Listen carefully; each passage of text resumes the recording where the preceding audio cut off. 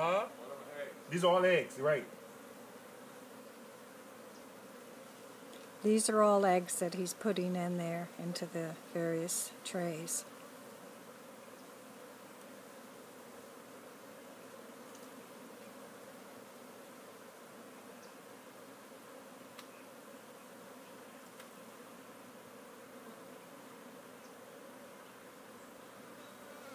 You can see distinguish how the eggs are much different from that of the, the honey.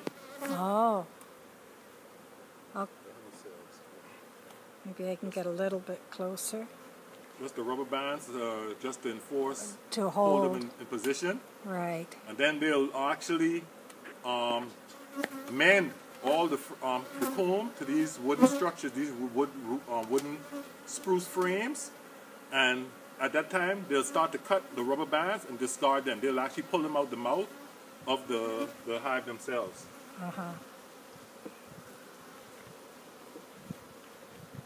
As I put all these eggs inside there, and if I push the queen away, and when I place this box close back to where the colony originally was, the queen will automatically smell her eggs, and she will naturally go inside the colony and start regrouping. That way all of these bees will follow. And then, like I said, when nighttime comes, 98 to 99% of the bees will come back inside this box, Uh-huh. at which time, like I say, I'll relocate them further away from the originating spot where they are so used to coming in at.